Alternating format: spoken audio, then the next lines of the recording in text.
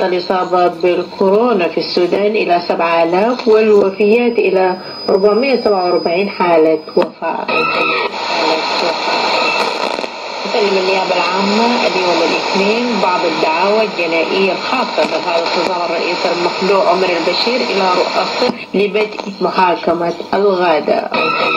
رئيس هيئة محامي دارفور يقول تسليم مجرم الحرب كوشيب لنفسه يعد انتصارا كبيرا للضحايا ويطالب بتسليم بقية المطلوبين. بقية المطلوبين.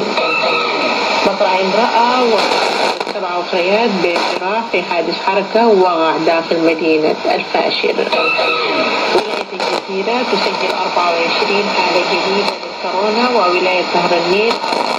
حالة ووزارة الصحة الاتحادية تطالب المواطنين قانون الطوارئ الصحية والبقاء في المنازل. بعثة اليوناميد ترسل المزيد من التعزيزات إلى معسكر كلمة للنازحين في مدينة نيالا لمنع تفاقم الأحداث. الأحداث 12 ألف شخص من المتضررين في أحداث كازوكلي بولاية جنوب كردستان.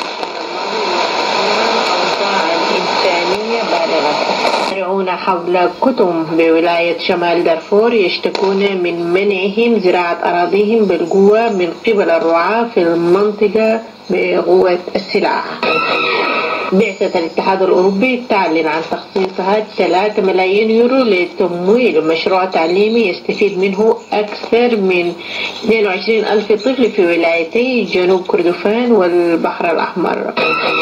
مددت الحكومة أمس إغلاق المطارات في البلاد أمام حركات الركاب للرحلات الدولية ركاب للرحلات الدولية والداخلية إلى 28 المقبلين واتبعوا إرشادات وتوجيهات وزارة الصحة وربنا يحفظكم ويدي العافية للجميع وإلى اللقاء.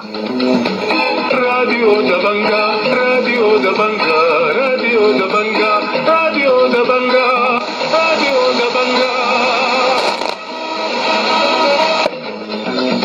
أعزائي المستمعين شكرا لاستماعكم لراديو دبنجا ونلاقيكم بكرة. دمتم بألف خير وإلى اللقاء.